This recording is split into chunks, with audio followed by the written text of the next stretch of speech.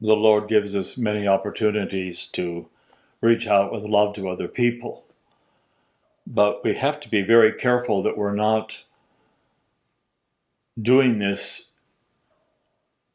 in a manner that is the same for every other person out there. People have different needs.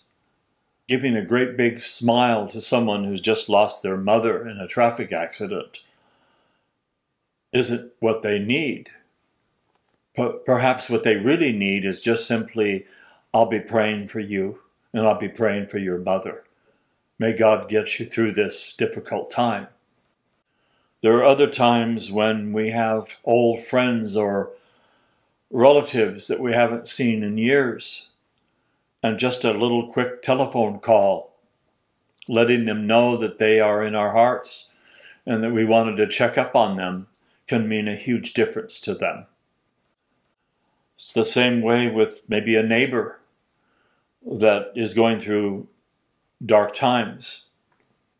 And there's not much we can do about it except be there for them in a way that lets them decide what we could do for them by being friendly to them or open to them or calling out to them as they're going up to their porch and saying, you know, anytime you need me, I'm here for you.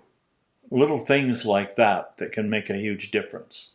The more we do things like this, the more we feel the love of Christ in us, and the more of a benefit we are to the souls of those who come in contact with us we need to remember that we are all created in the image and likeness of God, but we're all different.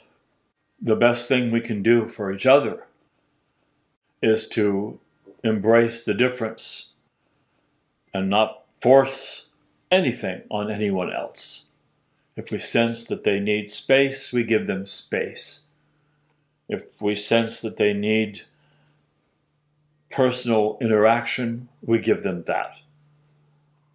But we ultimately leave all of this to God. And we ask God to inspire us to do what is right for others. If you have found this content to be a blessing, please like, share, and subscribe. Thank you both now and ever, and unto the ages of ages. Amen. Only begotten Son and immortal.